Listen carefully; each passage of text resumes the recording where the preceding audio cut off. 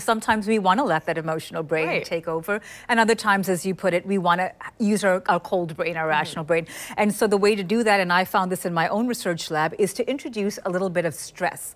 And what stress does is it overloads our amygdala, our emotional brain, and it shifts it to our front of our brain, our rational brain. And we can do this two ways, which is what I reported in my uh, research.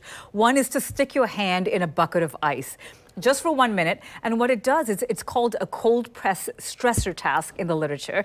Okay. And it actually overwhelms our emotional brain. Our emotional brain is so busy thinking, this is cold. This is cold. exactly. How long do I have to do right. this? But what it does is it changes our circuit. It then changes our decision making to the front of the brain. Mm -hmm. So when your hand is in that bucket of ice, make that decision. Do I want to move? Do I want to accept this job offer? What do I want to do about this relationship? It's a good opportunity to let your rational or your cold brain take control.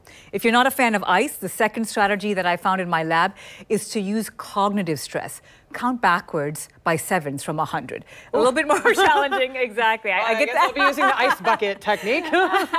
but that's another way. So if you don't have access to ice or if you're in a public space and you're really thinking, I got to dial down my emotional brain, right. I really need to be rational right now, 100, 93, and so on. Yes. And counting backwards from sevens, from sixes, not fives. It's too easy. Yes. But introducing that bit of stress, again, shifts that circuit of decision making to that front of your brain, your rational brain.